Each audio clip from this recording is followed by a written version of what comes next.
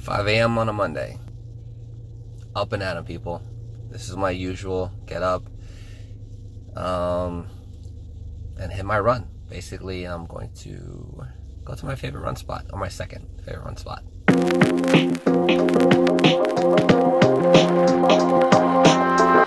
Good morning, ladies and gentlemen. Time is currently, I don't know what time it is because my watch isn't connected. Nice, bright, early in the morning. Getting ready to go to work. So, just woke up. About to hop in the car, head to Kung Fu, get set up, and then we're gonna have some fun, get a morning burn class in. If I do have errands, try to get them done as early as possible because uh, the rest of the day I can relax before I have to jump into work. So, uh, going to Walgreens, I gotta go get my dad a gift, gotta get something to eat for lunch too real quick, and I'm doing real shopping tomorrow. Good morning. One of the first things I do when I wake up in the morning is I have to take my dog out. What is up, you guys? It's your boy Matthew back in the studio. Just finished the morning run, as you guys saw. Did about three miles, a little bit over today. Um, steady pace, nothing too crazy. Um, so my plans for today, I have three primary objectives. The first one is going to the post office to drop off some packages.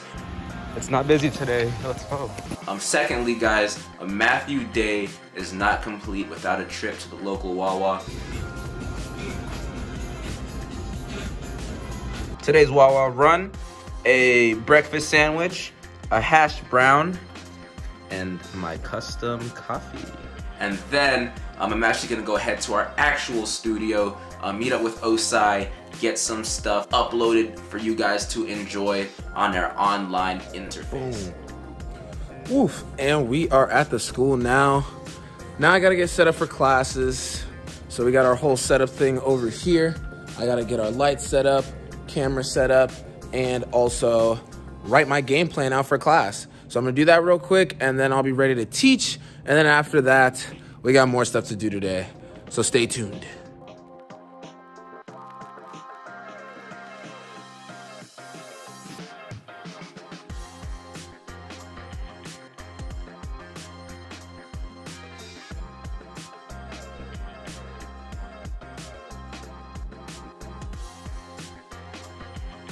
Whew.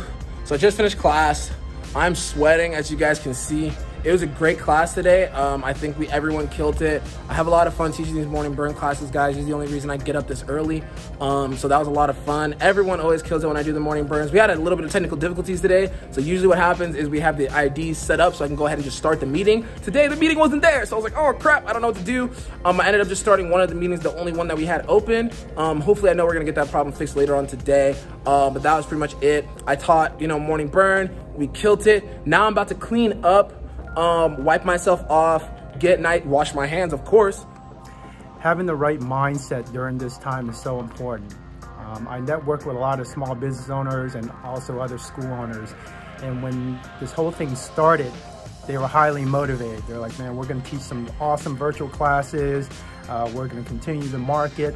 But as time progresses, their mindset shifts. They shift from a winning mindset to a losing mindset. It's like a fighter in a ring. When a fighter enters the ring, they have a winning mindset. But they start getting hit, they start getting taken down to the ground, the opponents control them on the ground, they start developing the losing mindset. And when you have the losing mindset, you, be, you get into a survival mode.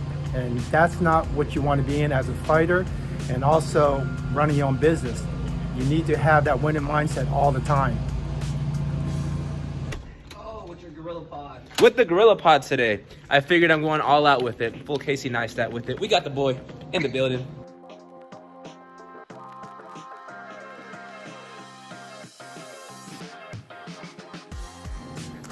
What's up guys? Now we are in the studio just um, uploading some more stuff to our online program.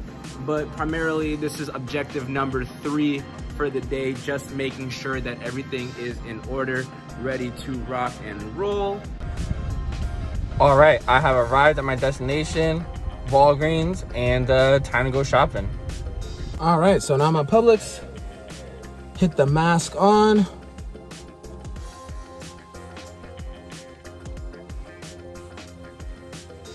Mask is on, it's protected. We got our paper list so we don't touch our phone in the store. Peace out, let's go get some. Walgreens trip success. Super quick trip. Probably the easiest way you can go. Got everything I needed, in and out, super fast. Loved it. What is up guys? We are back home. I'm editing the video, but something I wanted to talk to you guys about is our topic of this week, and that's going to be tackling anxiety and the stress overload.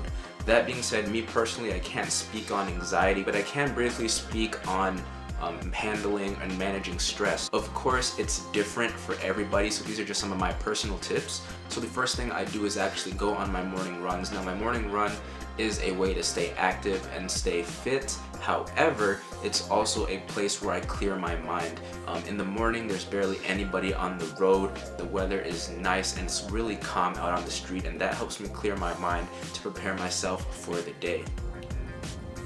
So that was pretty much my morning for today. Uh, uh, one of the things that we also want to talk to you guys about is probably pretty much just like everyone's like anxiety and stuff about everything that's going on. Um, for me personally, uh, you know, it's obviously something that I am a little worried about because I have my grandma at home, I have my mom at home too. Uh, but for me personally, I just know that as long as you stay safe, you know, it's kind of out of my hands. So as long as I wear, do the precautions, wear my mask, all that stuff, you know, it's out of my hands. But at the end of the day, I, I did the most I can do, and that gives me a little bit ease too. We're getting ready to go by a birthday shout out to one of Carly's friends. Carly, show me your sign. There you go. We got a lot of cars. So I know during this time, everyone's stressed out, everyone has a lot of anxiety. Um, personally, there's a lot of, well, one, there's a lot of ways to combat that. But um, personally, myself, you know, I'm not really that stressed out or have that much anxiety um, when it comes to the situation. One of the big reasons is I try not to have my head in the news 24 7. I feel like a lot of people like to keep their head in the news, eyes glued to their phone, 24 7, looking through all the different things about COVID and everything like that. To be honest, if it's really important, it will come to light.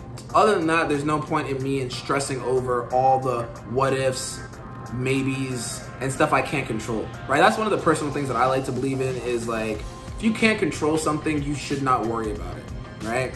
So I'm not gonna spend my time like going through all these different articles and research and doing all this stuff when I know the basic essentials I need to stay healthy and stay clean, and I know what I need to do. I know the, the regular ordinances that are out right now.